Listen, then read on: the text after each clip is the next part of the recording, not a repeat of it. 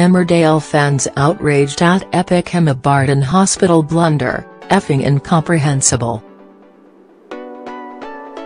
Emmerdale cast Emma Barton shocked viewers as she stole Moira Barton's baby from the hospital ward. She stole a nurse's uniform before sneaking into the baby's room and taking him completely undetected. While the story had fans on the edges of their seats as they watched Crazy Emma unravel, others were left angry at the plot holes.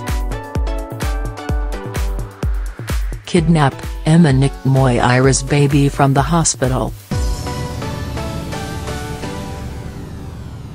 Nurses took to social media to slam the soap for making it seem so easy to abduct a baby from a secure ward.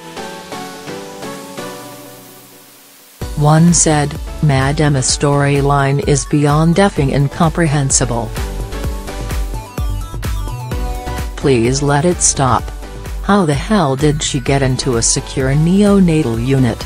Another added, I'm appalled at your portrayal of how easy it appears to abduct a baby from NICU.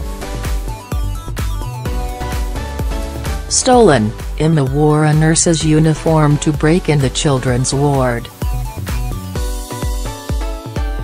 Outraged, fans were annoyed that it was made to seem easy to steal a baby from a ward.